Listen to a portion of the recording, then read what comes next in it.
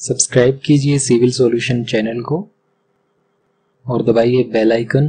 Latest civil engineering video सबसे पहले देखने के लिए।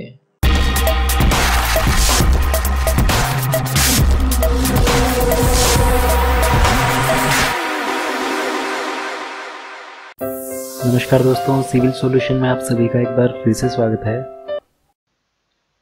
फ्रेंड्स आज का हमारा टॉपिक है why we provide bent up bar और क्रैंक बार इन स्लैब और बीम आज मैं आपको बताऊँगा कि हम बेंटअप बार या फिर क्रैंक बार को स्लैब या बीम में क्यों प्रोवाइड करते हैं। उसका क्या फ़ंक्शन होता है? तो देखिए फ्रेंड्स हमारे बेंडिंग मूवमेंट जो होते हैं, वो दो तरह के होते हैं। फ़र्स्ट आपका पॉजिटिव और सेगिंग बेंडिंग मूवमेंट अगर आपका जो मूवमेंट है स्ट्रक्चर का, वो डाउनवर्ड डायरेक्शन में है तो डाउनवर्ड डायरेक्शन का हमारा जो बेंडिंग मूवमेंट होता है, वो हमारा कौन सा होता है?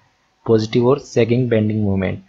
और इसके अपोजिट अगर आपका जो बेंडिंग मूवमेंट है, वो अपर डायरेक्शन में हो रहा है स्ट्रक्चर का तो हमारा जो मूवमेंट होता है, वो हमारा कौन सा होता है? नेगेटिव और होगिंग बेंडिंग मूवमेंट तो जैसा कि आप यहाँ पे देख रहे हैं, हमारी एक स्लैब है, जो कि नंबर ऑफ़ सपोर्ट पे आपकी रेस्ट कर रही है। तो इस स्लैब पे हमारा ऊपर से अगर कोई लोड आएगा तो उस लोड का इनकाउंटर करने के लिए हमारी सपोर्ट क्या करेंगी? उसके अगेंस्ट अपवर्ड डायरेक्शन में फोर्सेस अप्लाई करेंगी।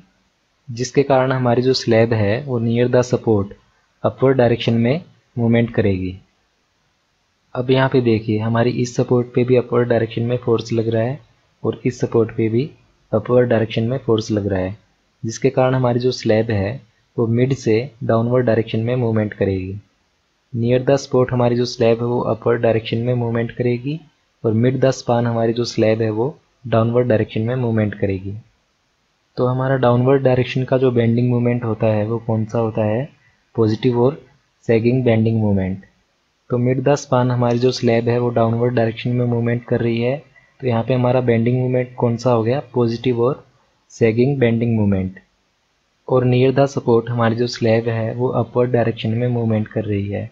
तो अपवर्ड डायरेक्शन का हमारा जो बेंडिंग मूवमेंट होता है, वो कौन सा होता है? नेगेटिव और होगिंग बेंडिंग मूवमेंट तो नियर द स्पॉट हमारा जो बेंडिंग मूवमेंट प्रोड्यूस हो रहा है, वो कौन सा हो रहा है?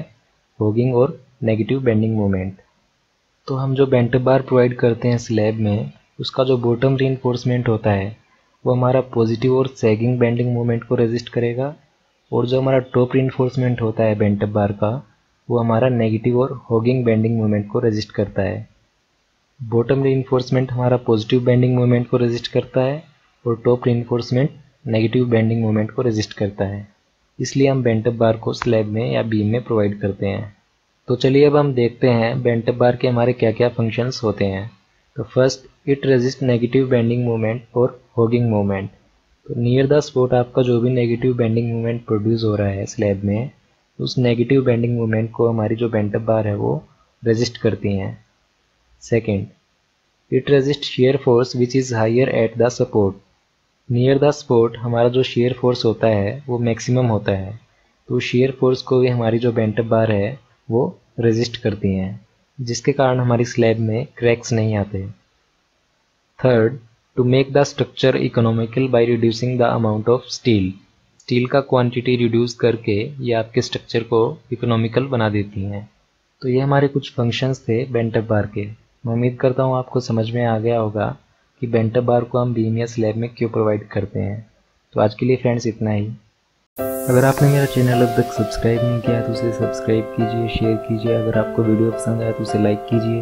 आपका कोई क्वेश्चन क्यूरी है तो कमेंट बॉक्स में कमेंट कीजिए। और हाँ बेल आइकन को भी दबा लीजिए, क्योंकि इससे मैं जो भी नई वीडियो अपलोड करूँगा, उसका नोटिफिकेशन आपको मिल जाएगा। Thank you